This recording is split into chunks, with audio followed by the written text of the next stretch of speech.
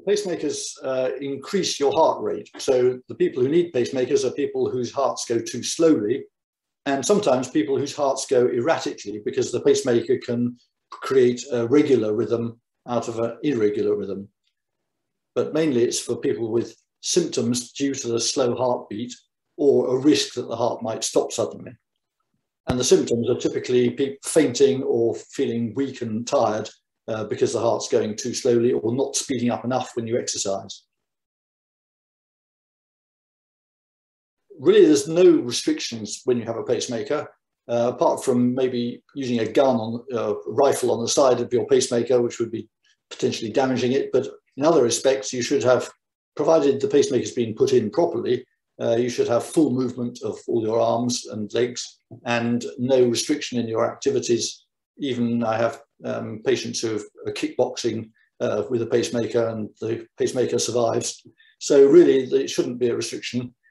Um, there are some issues about interference with the pacemaker due to electromagnetic uh, radiation. So working in high intensity uh, welding places or uh, in military radar and things like that may have some restrictions and you know, powerful magnetic switchgear may interfere with pacemakers, but usually not enough to cause a problem. No, it's a fairly simple operation done under local anesthetic largely, and uh, it does um, require a, a proper uh, type of operating theatre with x-rays so you can see where the pacemaker wires are going in the heart, but uh, the actual surgery is quite straightforward. It's important that the surgeon knows about the requirement of the patient for the pacemaker to be comfortable and out of sight and uh, not put the pacemaker too close to the surface. Uh, because some people don't take the trouble to do it right, but it's very important that the, any patient who's having a pacemaker says, look, I want this out of the way, I don't want to be able to see it, and I only want to be able to feel it if I'm looking for it, not just because it bumps into things. So it needs, uh, it needs a bit of um, cooperation between the surgeon and the, and the patient. Well, that, that is one of the problems that the wire in the heart isn't uh, very firmly fixed to the inside initially. So for the first few weeks after a pacemaker, you have to avoid sudden shocks, physical shocks, which would dislodge the wires. And occasionally a wire can come loose through no fault of anybody's. It just, just lets go of the inside of the heart. And in those conditions, it's necessary to do another operation to replace the wire. But this is very rare. Um, the pacemaker itself is on under the skin, and that can move if the skin's very uh, tissues are very soft. It can move slightly, usually outwards, until it's pressing on the skin at the side of the chest.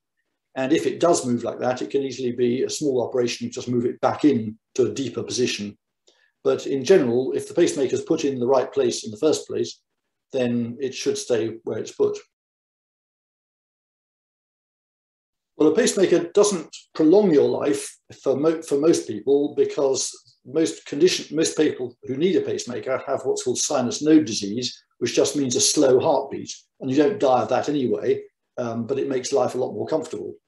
And patients who have problems like heart block, where the heart could stop, then the pacemaker will prolong that life. Um, overall, the life expectancy with a pacemaker is at least as good as it is without one and sometimes limited by some underlying problem with the heart that the pacemaker is helping to treat, uh, and that, that, that could progress. But in terms of the heart rhythm, the pacemaker will take care of that for as long as the rest of the patient stays alive. And so it doesn't really affect, so it doesn't cause any penalty in terms of mortality at all. There are very occasional complications of pacemakers that are dangerous, um, but that's extremely rare. And uh, um, can be avoided just by proper follow-up and treatment.